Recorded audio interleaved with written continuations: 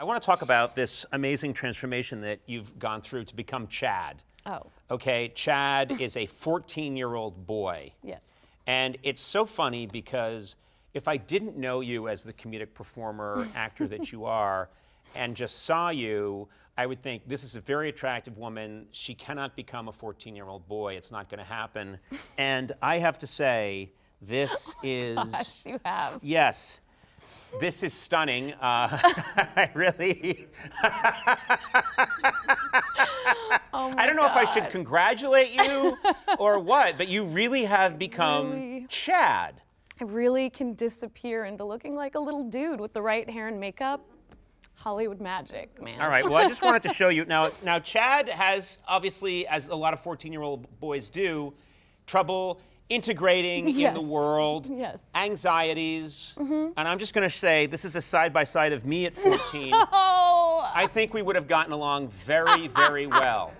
oh my God, that's so good. We're we're both like just a little dead behind the eyes. Yes. Yeah, and I never lost that deadness behind the eyes. Uh, we just look like we've been through so much at this point. don't you see us sitting together in the cafeteria?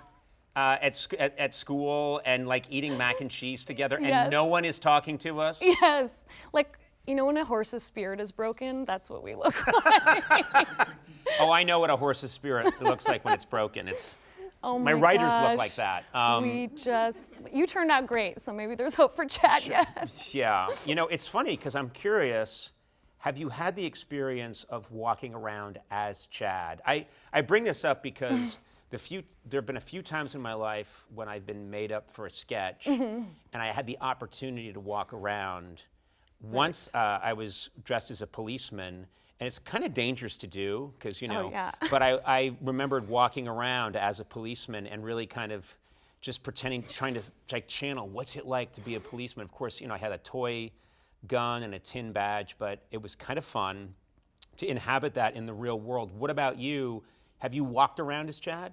Um, I have not so much for fun, more out of necessity. Like, you know, when you're shooting, you're so busy doing that. If I had like an hour off, I would be like, oh, I should just pop into a grocery store and get that done. So there Right. were a couple times where I was just like inside a Ralph's with a shopping cart, fully dressed as Chad, and was met with legitimate confusion from especially if people were far enough to not know it was a woman, you know, dressed as a little boy. They were just like, "Why is this small child buying so much produce?" Or like, they would just catch. I'd be in like a full K-pop outfit, like testing the ripeness of avocados. like, just no one understood what was going on. Yeah, I would think, and it's yeah, it's probably something they don't associate. A 14-year-old boy is not going to be doing that. Very mature to you be. know, if you're if you're buying any kind of uh, hairspray or anything. yeah.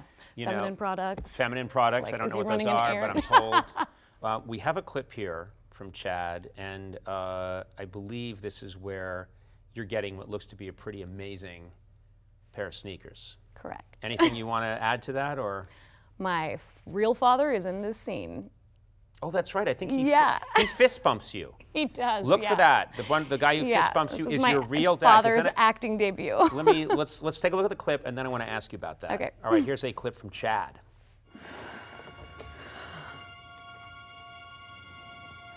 Are these the shoes?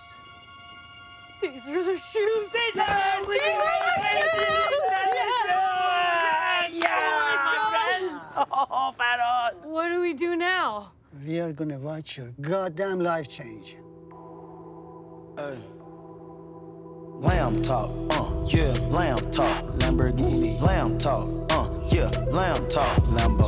Lamb talk, yeah, lamb talk, yeah, lamb talk. You know what? I'm going to say this. He's not bad. He's pretty and that look he gives to camera on his line, it's almost like he's a little too into it. We didn't tell him he was going to have a line because I didn't want him to get nervous. And we did about 30 takes and he finally nailed it. And now I'm worried he has the acting bug and is going to pursue this professionally. Yeah. Well, step one is does he have a headshot? When he when your father gets a headshot, There's a lot of on on set stills of my father that day. But he's I really he's been acting like asking me about what it would take to, to join the union now. Like I'm so nervous he's gonna get a publicist and really just go rogue with this.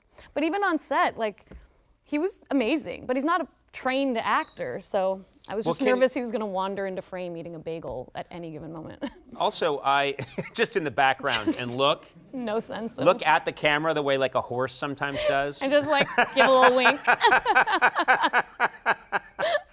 I love my my brothers and sisters and my mother and father, but God, I've just the idea of being in a production like with my dad, any kind Oh of God. show business moment with my dad or mom. The Just two always, intersecting. yeah, I always like, thought it's like Ghostbusters. trip. You can't cross those. You can't cross those streams. You've got to keep them separate, or a monster is created. yeah, we survived it. We survived it, and he's he's great. Um, and now I think he wants to do this for a living, which I'm horrified by.